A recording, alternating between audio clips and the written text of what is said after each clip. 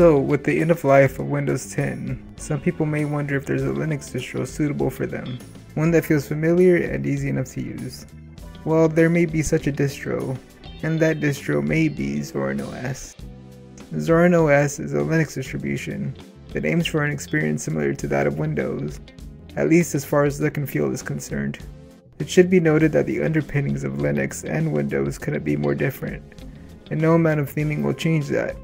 So with a similar taskbar, a similar start menu, and other similar features, could this distro be something that Windows users might want to use? Let's find out.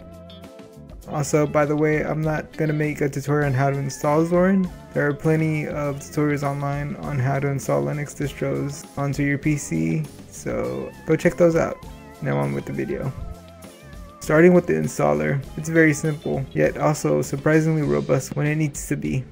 Basically, you just hit continue and configure some very basic settings, like what time zone you're in and stuff like that, and bam, you have just installed Zorin OS onto your PC. If you need to do something more complicated like partitioning, you can, but if you want to use your entire drive with Zorin, you really don't need to do much. Just use the default options. I wish Microsoft would implement an installer similar to this one on Windows. Also just a heads up, installing this will erase all of the contents on your drive, so fair warning. You can also opt for test driving it via USB without installing anything by selecting this option. Once installed, you're greeted with a little tour. This will walk you through the basics of Zorin, like opening your start menu, connecting any online account, and installing apps, among other things. On the surface, using Zorin OS is very similar to using Windows. On the leftmost part of your taskbar is your menu from where you will launch your apps, similar to the start menu in Windows. To the right of that are your pinned apps. Further to the right, you have your workspace switcher. This is something that's relatively new to Windows, so it may not be used by some users. Then you'll find your system tray next to the quick settings, and your notification panel slash calendar. Similar to Windows, right-clicking on the taskbar will present you with more options such as taskbar settings and the option to open the system monitor, similar to the taskbar in Windows. Right-clicking on the desktop will present you with more options such as changing your wallpaper or opening the settings app, among other things.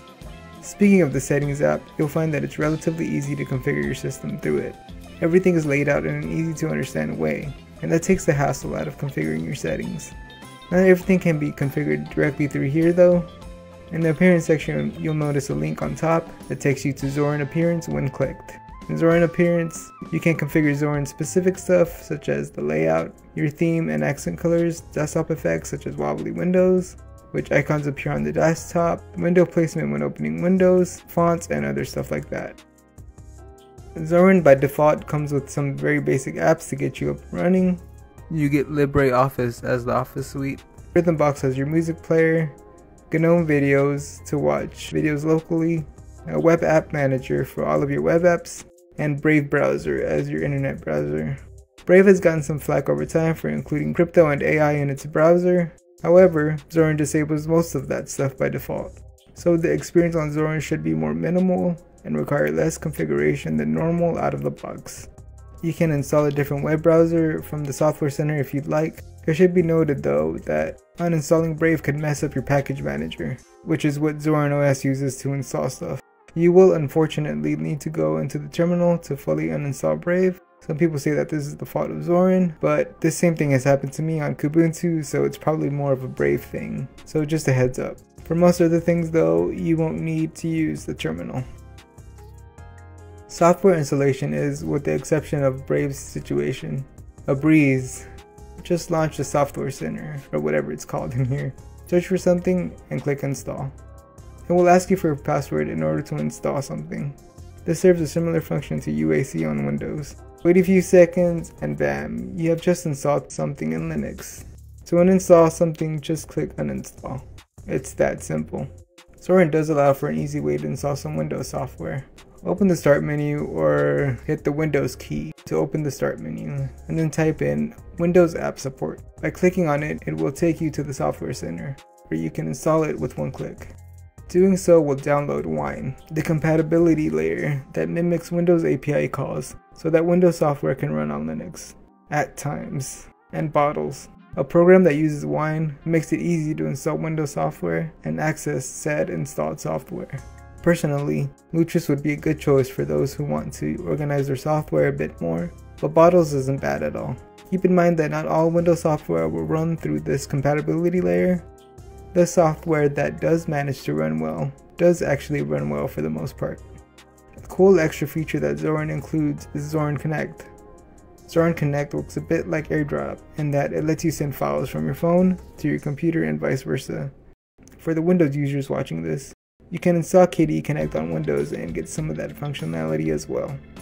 Like on all Ubuntu based distros, installing your graphics drivers is a breeze. Just head over to Software and Updates and click the Additional Drivers tab, and you should see drivers listed there.